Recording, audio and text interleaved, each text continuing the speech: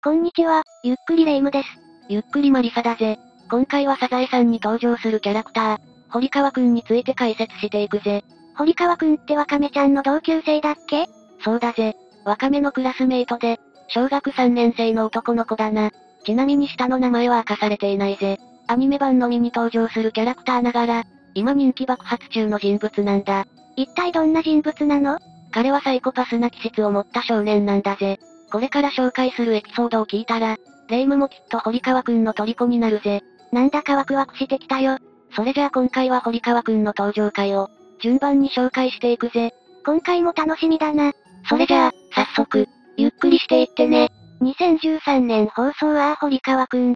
タイトルがすでにもうあれなんだが、堀川くんは、過去に磯野家にピンポンダッシュをしているんだ。堀川くんってそんな子だったの？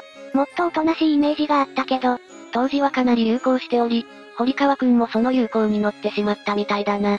磯野家は被害に遭い困っていたが、ワカメは、犯人は堀川くんであると気づいたんだ。ワカメナイス。しかしその後、別の少年が、僕がやりましたと自ら名乗り出てきたんだぜ。ワカメの推理は外れていたの？いや、ワカメは正しかったんだ。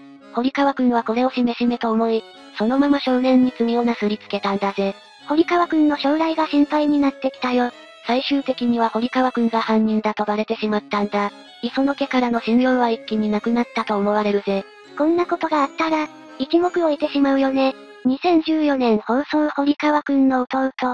この回では堀川くんの妄想癖があらわになったぜ。どんな話なの？ワカメのクラスで作文の授業があり、堀川くんは僕の弟という題の作文を読んだ。堀川くん、弟がいたの？いるみたいだな。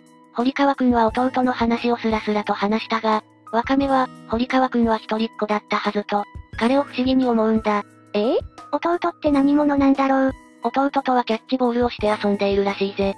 カツオが堀川くんと遊ぶことになり、弟を紹介すると言われたのでついていくと、壁に人型のシミがあったんだ。え、まさかこれが弟だとは言わないよね？いや、これが堀川くんの弟なんだ。怖すぎるよ。妄想と現実の区別がつかないのかな？壁のシミに平吉という名前をつけて、一緒にキャッチボールをして遊んでいるんだ。これにはさすがにカツオも、驚きを隠せない様子だったぜ。2014年放送堀川くんの卵。ある日堀川くんは親戚からひよこを譲り受け、なぜかひよこにワカメという名前をつけた。それを知ったワカメは、同じ名前はやめてほしいと伝えるんだが、ワカメはカタカナだけど、ワカメは、ひらがなだから別の名前だという答えだった。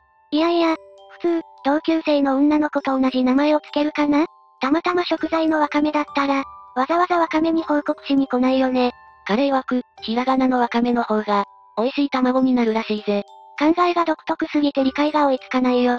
さらに、ワカメが産んだ卵を、人間のワカメちゃんと一緒に食べたいという、サイコパスな発言まで残しているぜ。ゾッとしてきたよ。この時堀川くんが描いたひよこの絵も、サイコパスすぎると話題になっていたぜ。2015年放送一番怖い人。堀川くんは過去に、磯野家に不法侵入しているぜ。ええいくらワカメのクラスメイトとはいえ、勝手に家に入るのはダメよ。令和の今だったら、住居侵入罪になるかもしれないな。どうして勝手に入ったんだろう？実はオタマジャクシを飼いたかったからなんだ。自分の家で飼うことができず、磯野家の床下で勝手に飼育していたんだ。床下で、それを知ったワカメは激怒し、もう勝手に家に入らないでと注意するが、彼は次は見つからないようにすると返したんだ。全然反省していないね。一度注意されたらここでやめるのが普通だが、堀川くんはそうはいかないぜ。まさか、再び不法侵入をし、サザエ、カツオ、タラちゃんにまで注意されてしまったぜ。そこで堀川くんはまたしても、次は見つからないようにすると発言したんだ。見つからなければ何してもいいと思っているのかな。ちょっと怖いな。勝手に生き物を飼育されるのも、かなり嫌な行為だよな。うん、なかなかのサイコパスだね。2015年夢見る堀川くん。堀川くんの将来の夢は、牧師さんになることなんだぜ。あら、素敵だね。少し見直したよ。牧師さんになりたい理由は、綺麗な花嫁をたくさん見たいからなんだけどな。理由が全然素敵じゃなかった。そこで堀川くんは、花沢さんのお婿さんになることを思いつくんだ。いやいや、まだ小学3年生だよね。気が早いよ。偵察のため花沢不動産を訪れ、花沢さんのお父さんに向かって突然、不動産屋さんはすごい、会社に行かないで、ビラを貼るだけで儲かるんだから、という、大変失礼な発言をし、花沢さんの父を怒らせたぜ。偵察しちゃうのも怖いけど、年上の男性にこんな発言をするのもびっくり。彼は怖いもの知らずなんだ。そんな堀川くんは他にも夢がたくさんあり、将来について迷っていたんだ。そこに波平が現れ、波平が堀川くんに夢について諭すことになる。それから堀川くんは波平を崇拝し、自分の部屋に波平の写真を飾るようになった。ちょっと待って、友達のお父さんの写真を部屋に飾るって、なかなかないよね。ワカメやカツオに見つかったらドン引きされるよな。やることが想像の斜め上を行くね。堀川くん、ただものじゃないね。2016年階段より怖い電話。次に紹介するのは堀川くんの、電話にまつわるエピソードだ。どんな話かな？ある日マスオがカツオとワカメに、階段を聞かせるんだ。その階段話を、カツオが堀川くんに聞かせたため、堀川くんは夜眠れなくなってしまうんだ。あの堀川くんも、階段が苦手なんだね。眠れずに困った堀川くんは、真夜中に磯野家に電話をかけたんだ。サザエさんの家の電話って、確か固定電話だよねそれぞれの携帯ならまだしも、深夜に家電ちょっとありえないね。今なら常識的にありえないよな。電話をかけるとカツオが出たぜ。堀川くんは、トイレに行きたいけど行けないから、電話を切らずに見守ってほしいとカツオに頼むんだ。いくら怖いとはいえ、深夜にそんなこと頼まなくても、こんなことで起こされたら、普通の人は怒るよな。カツオは仕方なく堀川くんを待ち、無事にトイレに行くことができたんだ。カツオって優しいところあるよね。この一連の流れにカツオは、マスオ兄さんの話よりも、堀川くんの方が怖かったと語っているぜ。そりゃそうだよね。その後堀川くんは柄にもなく、夜中に磯野家に、電話をかけてしまったことを反省していた。後日、お菓子を持って磯野家を訪れるんだ。意外と常識的な部分もあるんだね。堀川くんはワカメにキャラメルの箱を手渡し、ワカメがキャラメルの箱を開けると、中にはセミの抜け殻が入っていたんだ。いやー、色はちょっとキャラメルに似ているけども、本気で喜ぶと思って渡しているところが怖いよな。虫が苦手な人からしたら、ただの嫌がらせだよ。2019年嘘つきのメロンパン。メロンパンといえば、日本ではどこのパン屋さんにも置いてあるよな。甘くて幸せになる味だよね。そんなメロンパンを、堀川くんは嫌っているんだ。どうしてなの？堀川くん曰く、焼きそばパンには焼きそば、クリームパンにはクリームが入っているのに、メロンパンにはメロンが入っていない。メロンパンは嘘つきだから嫌いだというのだ。むちゃくちゃだよ。それを聞いたマスオは、堀川くんのために、メロン入りのメロンパンを買ってきてくれる。優しすぎる。それを食べた堀川くんの感想なんだが、本物のメロンを食べたことがないから、味がよくわからない。いくら頑張っても本物のメロンにはなれない。というものだったんだ。え？えメロン食べたことなかったの？それでよくあんなことが言えたね。マスオがせっかく買ってきてくれたのに、この感想はないよな。2021年堀川くんの手帳。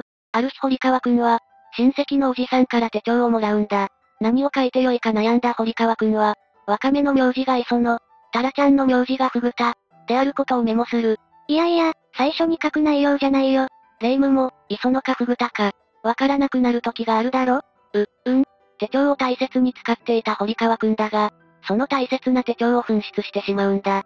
カツオに、手帳がなくても生きていけると慰められるが、手帳は僕がいないと生きていけない、と答えたんだ。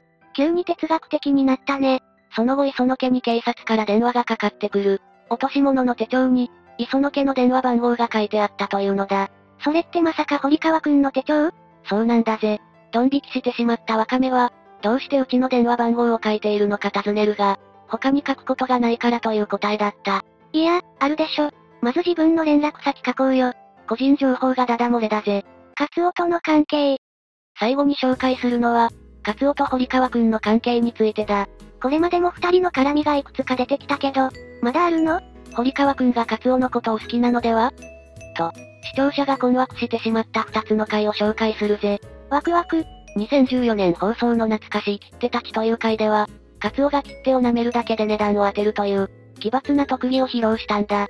それをワカメから聞きつけた堀川くんは、大量の切手を持ってカツオの前に登場。ぜひお兄さんに、舐めてほしいと思ってと、カツオに切手を舐めて舐めてとせがむんだ。怖い怖い。さすがに他人の切手を舐めるのは抵抗あるよね。そうだよな。買ってきたばかりの新品の切手ならまだしも、親戚からもらった切手だからな。堀川くん、その切手どうするつもりだったんだろう。一度舐めたらどこかに貼るしかないのに。謎は深まるばかりだな。2021年放送のカツオのゴミ箱という回では、カツオが作ったゴミ箱を、堀川くんが大変気に入ってしまうんだ。ゴミ箱を？どういうことなの？カツオは図工の時間にゴミ箱を作り、家に持ち帰る。すると学校から電話があり、校長先生がカツオのゴミ箱を大変気に入ったため、明日学校に持ってきてほしいというのだ。堀川くんだけでなく、校長先生をも魅了するカツオのゴミ箱。翌日ゴミ箱は校長室に置かれることになったぜ。ご満悦な校長だったが、そこへ堀川くんが現れる。カツオが作ったゴミ箱を見せてほしいというのだ。校長室って入るの勇気いるよね。本当に怖いもの知らずだな。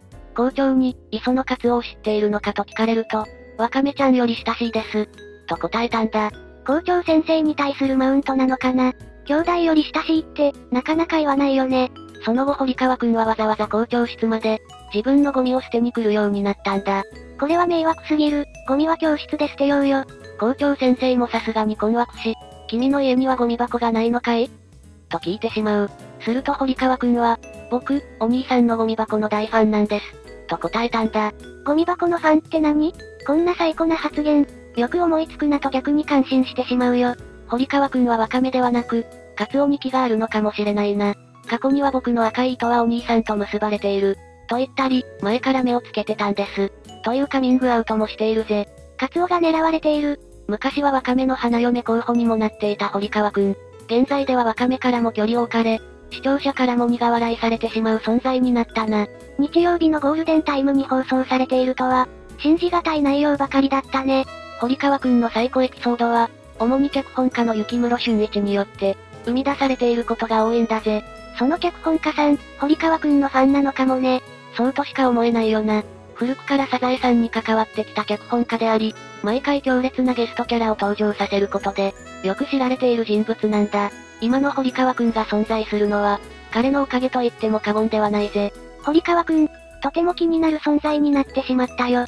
不法侵入やピンポンダッシュは今だったら、即アウトだけどな。サザエさんだから許されているような気もするよ。今後も堀川くんの行動には注目だな。というわけで本日はここまで。最後までご視聴いただきありがとうございました。皆さんは、今回の解説をどう感じたかな？感想やリクエストを気軽に、コメントしてもらえると嬉しいぜ。